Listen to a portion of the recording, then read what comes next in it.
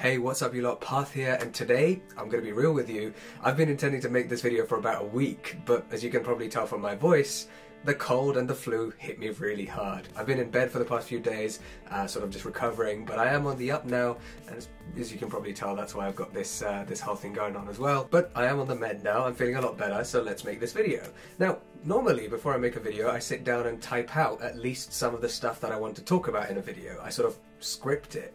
Whereas in this case, it's just me sitting here and splurging and hoping that editing Parth will be able to deal with it and turn it into some sort of cohesive video.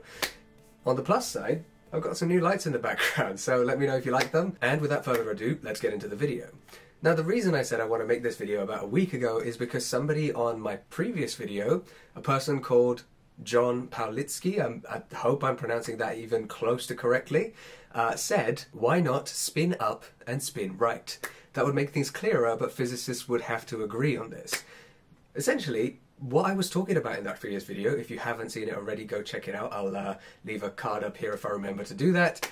I was talking about how spins of an electron, spin is a property that electrons have, can be represented as vectors in some abstract vector space. Now, if that all makes no sense to you, then I'm not going to explain it here again. So, like I said, make sure you've seen that video before you've seen this one. But the idea was that electrons have a property called spin. And when we measure the spin of an electron, whatever that means, we don't need to know that for now, we can find it in one of two possible states. One of them is called spin up, and the other is called spin down. However, I explained in my previous video that spin up and spin down, as well as other quantum mechanical states that a system can take when we make a measurement on it, can be represented as vectors that are perpendicular to each other. So in that video, I said that we could represent spin up as being a vector in some random abstract space, pointing in the upward direction, and spin down could be a vector that was orthogonal or at right angles to this vector, which means it would have to either point right or left, or in and out of the screen, doesn't matter which, but you know, those two are a bit too complicated, we'll just stick with pointing to the right for now. And this is where things got a little bit hairy. We said that these states are called spin up and spin down. Yet we're representing them with an arrow pointing upward and an arrow pointing to the right. And I explained that this is actually just a random abstract vector space and quantum mechanical states, the state that a system can be in when we make a measurement on it, behave kind of like vectors. That was the whole point of that previous video. And I did mention in that video that spin up and spin down are just names for our quantum mechanical states, namely the state of an electron when we measure its spin. I also said that if it was too confusing to call it spin up and spin down and imagine them as vectors pointing up and right for some reason, then we could just call them something else. I said we could call them vector A and vector B, if I remember correctly, or spin state A, spin state B. And John suggested, why not just call it spin up and spin right? And I knew somebody was going to say this. It's actually a really clever suggestion. So well done, John, for pointing that out. Um, I'm going to tell you why we can't do that, unfortunately. In fact, we can call them whatever we want, the two spin states, as long as they are opposite directions of each other.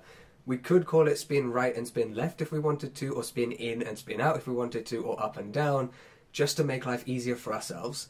And here's the reason why. In order to understand what I'm talking about, we're going to have to kind of sort of talk about spin. And I've avoided doing that in past videos, at least the past five or four or five videos I've made on this channel. I have sort of talked about spin and skirted around the subject and I'm not going to properly talk about it in this video either. I promise I've got a proper detailed video about spin in the works at some point, coming hopefully soon, but don't take my word for it. And I'm going to talk about spin properly in that. But in this video, the whole point is to talk about John's suggestion as to why don't we call the two spin states of an electron spin up and spin right. So in order to understand what's going on here, we need to understand what spin actually is. Spin is an inherent property of some of these particles, electrons, photons have spin.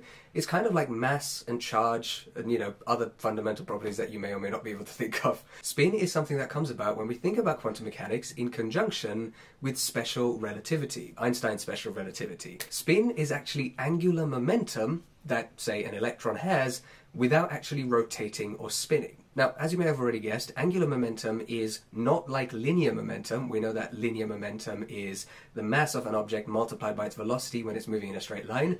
Angular momentum is kind of like that, but related to rotation or spinning or turning, that kind of momentum. And as it turns out, particles that have spin already have angular momentum without doing any spinning or rotating or you know turning around like orbiting any other object or anything like that they just have it. And it sort of comes about because of special relativity. So yeah, spin is angular momentum that, say, an electron has without actually doing any spinning. How weird. So here's the thing. Any angular momentum that an electron gains by, for example, orbiting some object is extra angular momentum on top of the spin angular momentum that it already had. Now, what scientists realized is that if particles such as electrons have spin, which is an inherent angular momentum, then we could treat spin just like we normally treat angular momentum. Now, let's just imagine some generic object has angular momentum. We're not talking about spin anymore. Let's just imagine we've got like a tennis ball here and it's spinning about its axis. This means that it's got an angular momentum, and if we're looking down on it, let's say it is rotating cro- clockwise? talking a lot of crock. Um, so let's say we've got this rotating tennis ball, this tennis ball rotating about its own axis, and actually looking at it top down is probably not the best way to do it. Let's look at it side on. So the side nearest to us is rotating left, and the side furthest away from us is rotating right. Now, an easy way to deal with angular momentum is to represent this whole rotation by a single arrow. Specifically, we could choose the convention that this type of rotation is represented by an arrow through the center of the circle representing the rotation, and that arrow in this case is pointing upward. We could choose it to point downward, it doesn't really matter, but let's just say for, for our sake, that is pointing upward. And a rotation in the opposite sense, a rotation in the opposite direction, is represented by an arrow through the center of the circle pointing downward. This way, when we draw diagrams and do mathematics related to angular momentum, we just have to draw an arrow whenever we're talking about some spinning object. We don't have to draw the entire circle and the direction in which the, the object is spinning, essentially. It's just a way to make life easier. Now you might be seeing where I'm going with this. The idea is that our electron, coming back to our electron and our quantum state now, has spin and we measure this spin in a particular direction. So let's say we have our spin measuring object. Let's make this very abstract. We don't need to worry about how we measure spin. We can measure the spin of an electron in, say, the upward pointing direction. And the results of this experiment can only be one of two results. Either the electron has an angular momentum that behaves as if the electron was spinning this way, or it behaves as if it was spinning the opposite way. In other words, the two possible vectors that we can use to represent the spins of our electron, assuming you know the angular momentum came about because the electron was actually rotating, are vectors that point up and down. So let's reiterate, let me just be very, very clear about this. When we measure the spin of an electron, we measure it in a particular direction, and the results that we can get can be represented by a vector either pointing up or pointing down. Now, let's be very careful here. The vectors that are representing the spins here are in real space. They're not in the abstract space that I was talking about in the previous video where we said quantum states can be represented by vectors. Those are completely different vectors. But anyway, let's say we've got our electron and it has some spin angular momentum. That spin angular momentum comes about due to relativistic effect, so the electron is not actually spinning. However, at the end of the day, it is still angular momentum, so we can treat it like we would an object were actually spinning. And that makes life easier for us because then we can see that the angular momentum that the electron has could either be pointing up or down in a simplified vector representation of a spinning object. And that is why electron spins are called spin up and spin down. I hope that makes at least a shred of sense. I guess I'll find out when I edit the video.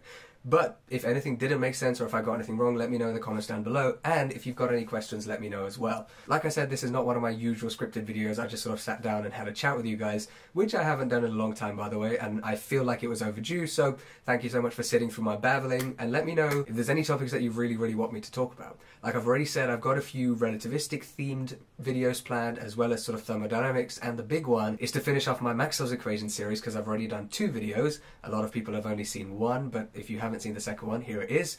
But I really want to make videos for the other two as well, so keep an eye out for those. Additionally, if you've only recently joined me on this channel, then I have to say thank you so much for subscribing and thank you so much for all your support. I always struggle, you'll notice, to say the words thank you so much for subscribing.